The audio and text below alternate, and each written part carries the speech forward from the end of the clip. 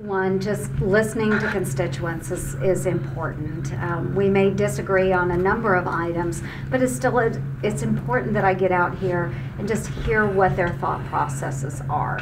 Um, a level of, of angst out there, and most of it centers around the Health Care Act. And that is because it is a very personal issue to a lot of people. It's an emotional issue. It is one of those top line issues that uh, touches everyone in all aspects of their livelihood. So uh, I understand that. We want to make sure that, that I'm looking at the bills that are proposed and making sure that they'll work for, for most Iowans. In regards to the, to the Ryan slash House plan as we know it, um, you expressed support up there, I think, for continuing some sort of subsidy for people. There is a tax credit that is available. And that's good enough for you? It is, I'm still looking at that because I do have concerns about making sure we have the right supports in place for the people that truly need it. So those that are at the lower end of that income level. Uh, so I want to make sure that those tax credits are actually working for our hardworking Iowans that are struggling to make ends meet. Um, does that do that sufficiently right now? I don't know that it does. So I want to take a look at that. We'll see what the final form is and make sure that uh, we're, we're focusing on the people that really need this. Senator, the issue of Medicaid came up several times today, uh, and you expressed it sounded like some support for the Medicaid expansion that we've seen under the Affordable Care Act. What are you looking for in this new bill as it regards Medicaid? Well, again, that we're focusing on the the people that truly do need the assistance. Now, how that will translate into a final version of the bill, again, I'm going to have to sort through it because I, I can't tell you whether I'm going to support it or not support it today because I just don't know what the final bill is going to look at. But we do know that there are 150,000 Iowans that went through Medicaid expansion. These are those folks that might be working jobs, they just can't quite make ends meet and, and purchase insurance on their own. So they've been absorbed into that Medicaid system. So we want to weigh that um, moving forward and make sure that it's going to work for our hardworking Iowans. Senator, there's been a lot of talk about with, with Obamacare and then with, with the Ryan plan uh, about uh, covering health insurance. What talk is there amongst Republicans about actually tackling ways to lower health care costs? And that, I think, is getting to the very heart of this as well, is that we talk a lot about insurance coverage but we're not addressing the costs of actual health care. Um, so, what are those hidden expenses that are out there? Uh, we heard one lady that was frustrated with prescription medicine costs. Uh, those are all things that we need to look at. We need to take a holistic approach.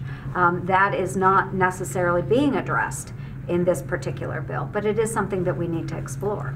One of the things in this bill is that it would allow insurance companies to charge up to 66% more to older, sicker patients. How does that control costs?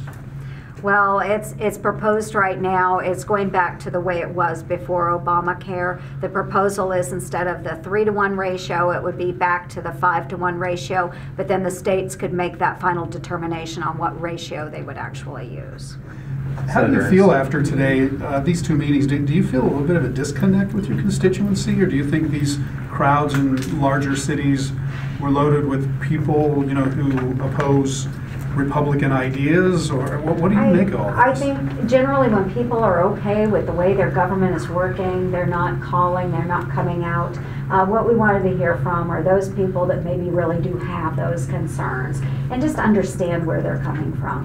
Um, when I am out going across the state of Iowa, I hear different concerns too. I, I spoke with a couple of women yesterday at a small business. One of them is a single mom with two young boys that are headed off to college.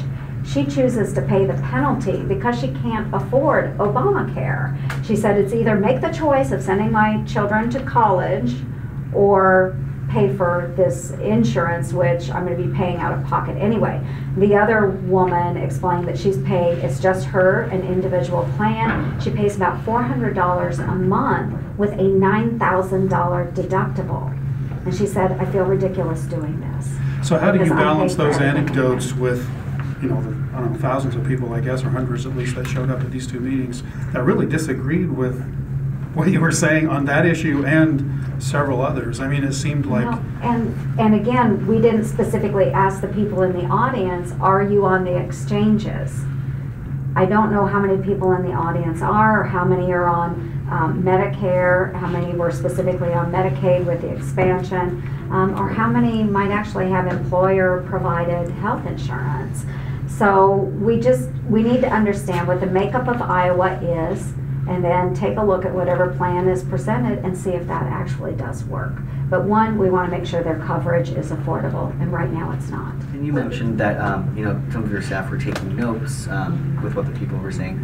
After these meetings, uh, you might have more. Uh, what are you going to do with those notes when you get back to Washington? Um, we'll sort through them. There are a number of cards as well that they have filled out with questions or concerns, and then we'll respond back either with phone calls or letters, um, kind of the position that we have, the, the thoughts that they have shared with us. But it is a great way to kind of see what's going on, you know, in their minds too. And who knows, a number of those cards may say, you know, stay the course because we don't want Obamacare. Um, so we'll see what they say and then and get back to those constituents. Okay. And, We've got time for one more. Senator, do you think, like, we heard several of the same questions in Cedar Rapids as we heard here, and we also heard several people insisting, I'm not paid to be here. I mean, Do you feel like the anger that we saw from, I guess, the majority of people is an organic development or, or something else? Is it organized, or is it just people coming out? I, and I know they're not paid to be here, I, you know, and I've never made that accusation. Um, so, uh, I understand their, their anger, but I do think there is a level of organization through different groups, um, maybe not all cohesive, but similar situations where they're holding up the agree, disagree signs, Right. or you're lying, or, you know, things like that. So there is some coaching out there, whether it's just shared through Facebook or whatever, you know, who knows. But their concerns are valid concerns. We want to address them.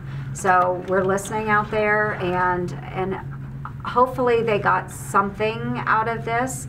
Uh, it was more of a, a listening post. I wanted to hear some of their thoughts. Uh, the cost going back to hospitals, that's one that came up in Cedar Rapids and here. That's one that we're really not talking about. So I'm glad when I'm picking up new pieces of information, it makes me better informed.